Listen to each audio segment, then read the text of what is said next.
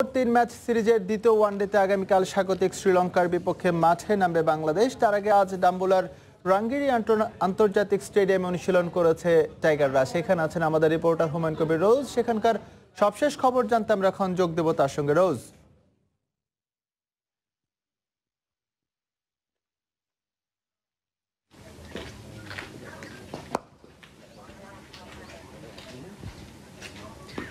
ধন্যবাদ ইকবাল আপনাকে। আসলে ইকবাল একটা বিষয় কিন্তু দেখার মতন বা জানার মতন ব্যাপারটা অনেকেরই।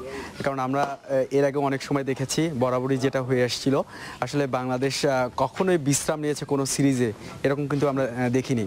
বরং বরঞ্চ এটাই আমরা দেখেছি বরাবরই যে বাংলাদেশ আহ, অনুশীলনের কাছে অন্য দল যে দল জিতে থাকে বরাবরই বাংলাদেশের প্রতিপক্ষ দলগুলো কিন্তু বিশ্রামে নেয়। গতকালকে আমরা কিন্তু এই ব্যাপারটা দেখেছি।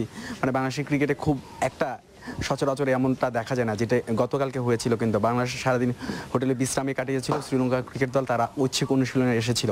এবং আজকেও তারা বেশ সিরিয়াস আপনি দেখতে পাচ্ছেন ইকবাল আমার পিছনে। শ্রীলঙ্কা ক্রিকেট দল প্রায় সাড়ে তিন ঘণ্টা আপনার ব্যাটিং বোলিং অনুশীলন করছে এবং তারা আজকে নিয়ে খুব সিরিয়াস একটু পরপরে আসলে প্রধান নির্বাচক সানা জয়সুরিয়া এবং কিছুক্ষণ আগে দীনেশ চান্দিমাল এবং উপল থারঙ্গা নিজেদের মাঝে একটু আগে বৈঠক করেছেন। এবং এখানে টিম ম্যানেজমেন্ট যারা আছেন, একটু পরপরই বৈঠক করছেন আলোচনা আহ, এইগুলো নিয়ে আসলে তাদের মাঝে একটা ব্যাপার আমরা স্পষ্ট লক্ষ্য করতে পেরেছি যে যেভাবে হোক তারা আসলে সিরিজে ফিরতে চায়। কিন্তু সিরিজে ফেরাটা আসলে এই এই মুহূর্তে শ্রীলঙ্কার জন্য কঠিন হবে। কারণ বাংলাদেশ দল যেভাবে পারফরমেন্স করছে বিশেষ করে বাংলাদেশের অভিজ্ঞ ক্রিকেটাররা সাথে সাথে তাসকিন মিরাজদের কথা না বললেই নয়।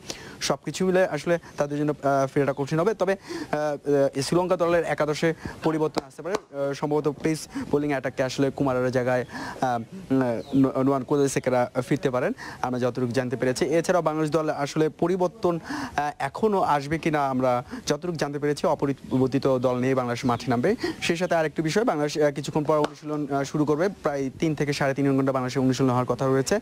এরপর কিছুক্ষণ তার আগে বাংলাদেশ অধিনায়ক মাশরাফি গণমাধ্যমে কথা বলবেন এবং কিছুক্ষণ পর আসলে শ্রীলঙ্কার অধিনায়ক উপল থারাঙ্গা গণমাধ্যমে কথা বলবেন। তাদের ম্যাচ নিয়ে তাদের লক্ষ্য বা টার্গেট কি এই ব্যাপারে আসলে বিস্তারিত বিস্তারিত জানাবেন। সবকিছু মিলে ইকবাল বাংলাদেশের সামনে একটা ইতিহাসের হাতছানি, কারণ আপনি জানেন, শ্রীলঙ্কার বিপক্ষে বাংলাদেশের প্রথম জয় এসেছিল ওয়ানডে ক্রিকেটে দু হাজার তেরো সালে, এবং দু হাজার সতেরো সালে এসে চার বছরের ব্যবধানে কিন্তু দৃশ্যপট পাল্টে গেছে। বাংলাদেশ এখন সিরিজ জয়ের সম্ভাবনা তৈরি করেছে, এবং সিরিজ জিতলে কিন্তু বাংলাদেশের ওয়ানডে র্যাঙ্কিংয়ে উন্নত হবে। পাশাপাশি বাংলাদেশ ইতিহাস রচনা করবে শ্রীলঙ্কার মাটিতে প্রথমবারের মতো ওয়ানডে সিরিজ জয়। সেক্ষেত্রে বাংলাদেশের যে ধারাবাহিক পারফরমেন্স সেই পারফরমেন্সটাই ধরে রাখার সবচেয়ে চ্যালেঞ্জ হবে। ইকবাল, এই ছিল আমার কাছে সর্বশেষ পিচ্ছে আপনার কাছে।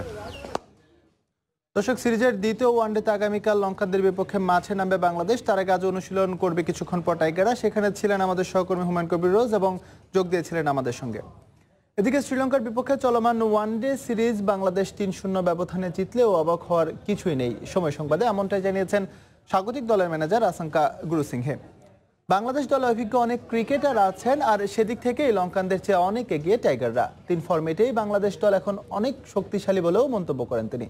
সালাউদ্দিন আল মামুনের ক্যামেরায় শ্রীলঙ্কা থেকে জানাচ্ছেন হুমায়ুন কবির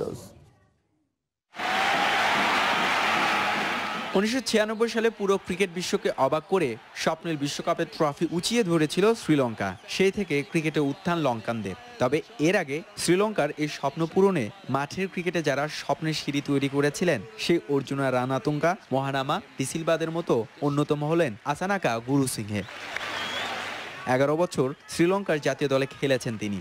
এর মাঝে দুবার এশিয়া কাপে আকরাম বুলবুলদের বাংলাদেশের বিপক্ষে খেলেছেন ওয়ানডে স্মৃতির পাতার সাথে মিলিয়ে দেখলেন এই বাংলাদেশ ক্রিকেট দল এখন বিশ্ব ক্রিকেটে মাথা উঁচু করে দাঁড়িয়ে আছে। They have about seven or eight players who have been playing for nearly 10 years. Uh, Asia কাপে দুবার বাংলাদেশের বিপক্ষে খেলেছি। সেই দল আর এই দলের মধ্যে আকাশ পাতাল তফাত তখন তোমরা অপেক্ষা করতে আন্তর্জাতিক ম্যাচ খেলার জন্য। আর এখন আমাদের বিপক্ষে সিরিজ জয়ের হাতছানি। সত্যি তামিম সাকিব মুশফিকদের নিয়ে তোমাদের দলটা তিন ফর্মেটেই পরিণত হচ্ছে। Excuses, but Bangladesh is a good experience. স্মৃতির জগৎ থেকে বাস্তবতায় এলেন গুরু সিংহে আছেন লঙ্কান দলের ম্যানেজারের দায়িত্বে। ডাম্বুলায় প্রথম ওয়ানডেতে বাংলাদেশের পারফরমেন্সে মন্ত্রমুগ্ধ তিনি।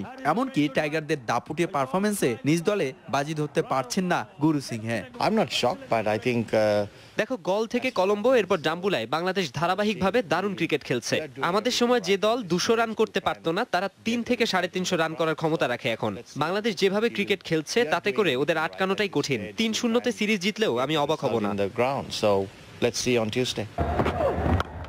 বাংলাদেশের অভিজ্ঞ ক্রিকেটারদের সাথে তরুণদের পারফরমেন্সের ধারা ঠিক থাকলে গুরু সিংহে বিশ্বাস করেন দুই বিশ্বকাপে নাকি বাংলাদেশ চমকে দিবে পুরো ক্রিকেট দুনিয়াকে। এবার যাব ইমার্জিং কাপের খবরে। আসরে শুভ সূচনা করেছে বাংলাদেশ অনূর্ধ্ব তেইশ ক্রিকেট দল। বি গ্রুপে নিজেদের প্রথম ম্যাচে হংকংকে আট উইকেটে হারিয়েছে যুবারা।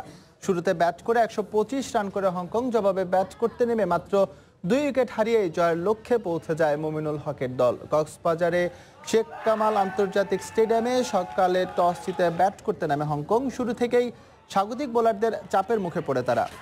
বাবর হায়াতের সাঁত্রিশ ও নিজাখাত খানের ছাব্বিশ রানে সবকটি উইকেট হারিয়ে মাত্র একশো পঁচিশ রান করে হংকং। বাংলাদেশের হয়ে নাসির ও মুমিনুল নিয়েছেন তিনটি করে উইকেট। লক্ষ্য তারা করতে নেমে সাইফ হাসানের অপরাজিত আটান্ন শান্তর চব্বিশ ও মুমিনুলের একুশ রানে সহজে জয় নিশ্চিত করে বাংলাদেশ অনূর্ধ্ব তেইশ দল দ্বিতীয় ম্যাচে মুমিনুলদের প্রতিপক্ষ নেপাল।